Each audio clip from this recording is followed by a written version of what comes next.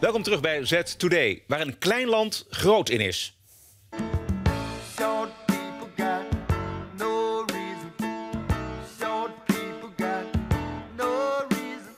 Nederlanders hebben weer reden tot juichen, want na een EK voetbal waar we niet eens aan meededen en een verloren tweede plaats in de Tour, is er toch iets waar we het beste in zijn: groeien. Nederlandse mannen zijn de langste ter wereld, dat blijkt uit Brits onderzoek. Ze zijn gemiddeld ruim 1,82 meter. De Nederlandse vrouwen doen ook goed mee in de wereldtop. Zij zijn gemiddeld 1,69 meter.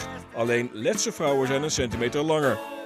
Nederlanders zijn de afgelopen eeuw flink gegroeid. Onze groeispurt was zo'n 14 centimeter. Ja, Frederik, dat is allemaal heel erg aardig, maar wat hebben we aan die lengte? Nou, veel. Want als je langer bent, ben je namelijk ook succesvoller. Ten eerste verdien je waarschijnlijk meer. Althans, elke centimeter extra dat je langer bent, heb je 5% meer kans op een hoog inkomen. Nou ben jij volgens mij al een stukje langer dan Roderick. Dus dat moeten we straks maar eens even met de salaarstrookjes uh, Ik ben ook ondernemer. Ik zou dat nou niet doen, eerlijk gezegd. Nou, laten we deze even liggen. Eh, en de kans dat je een eh, leidende functie hebt, zeker bij mannen speelt dat, ehm, is ook groter. Dat klopt. Dat ook samen met je In mijn geval. In jouw geval klopt dat zeker met je ZZP-onderneming. Nee, maar als we kijken naar een grafiekje, als mannen die een leidende functie hebben, die zijn gemiddeld 1,82 meter. Uh, mannen met uh, absoluut geen leidende functie, dus uh, bijvoorbeeld fruittelers of receptionisten, die zijn 1,76 meter. Dus er zit nog best wel een verschil tussen. Ja. En?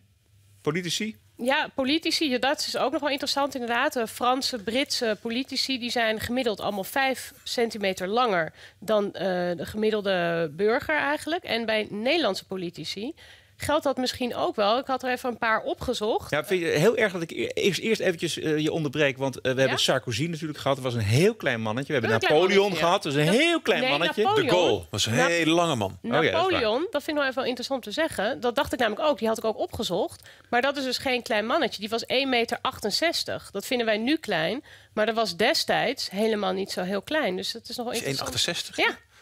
Oké, okay, maar inderdaad, dus uh, de goal en Giscard d'Estaing was volgens mij ook een ja. lange man. Dan ga door met je Maar die hebben gewoon een klein, misschien ook een klein mannetje-syndroom. Dat zit er misschien ook wel achter. Maar als je de cijfers kijkt, uh, dat is ook uit onderzoek, hè, dus dat uh, Franse, Britse en Duitse toppolitici eigenlijk allemaal 5 centimeter langer zijn. onze Nederlandse politici, we hebben ook een klein mannetje ertussen. Diederik Samson. Okay, 1,75 meter is niet zo lang. Geert Wilders 1,95 meter. Alexander Pechtold 1,85 meter. Emiel Roemer 1,90 meter. Mark Rutte 1,85 meter.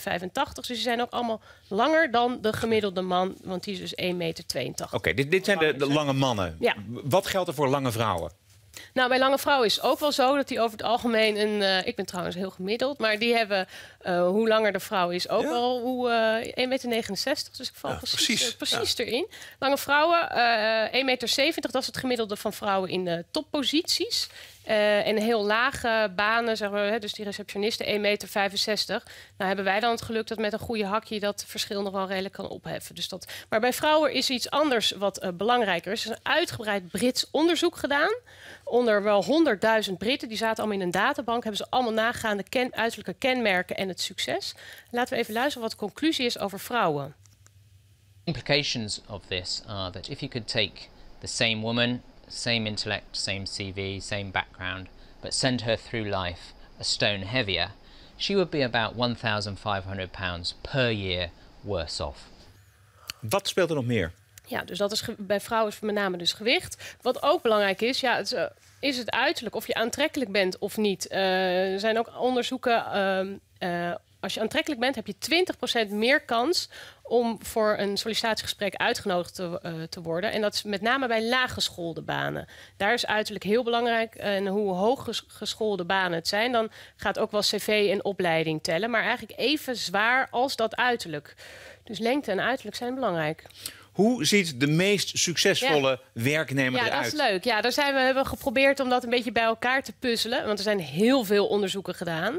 Dit zijn maar eigenlijk een paar resultaten die ik nu opnoem. En we hebben ze eventjes uh, geprobeerd te maken. De, de, de, de, succesvolle man moet eigenlijk hier aan voldoen. Die moet dus lang zijn en dus ook aantrekkelijk zijn. Baard. Maar die moet ook een baard hebben. En wel een hippe baard. Want zo'n baard uh, uh, straalt wijsheid uit. Ja. Daar ga ik nat. Alle twee, ja. Ik heb, ik heb zelfs amper baardgroei. Dus, ai, ai, ja. ai, ai, ai. En misschien moet je iets opplakken of zo.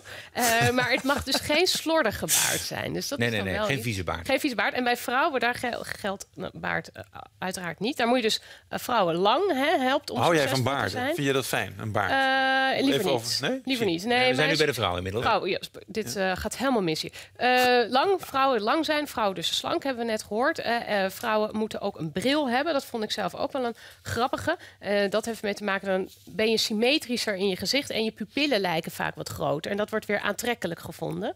Ja, en bij vrouwen is ook, dus ook onderzoek gedaan met LinkedIn en zo... dat als ze zich net kleden, dat dat eh, ook tot meer succes leidt. Maar dat vind ik een vrij voor de hand liggende. Maar je kan dus best wel wat doen. Goed zo.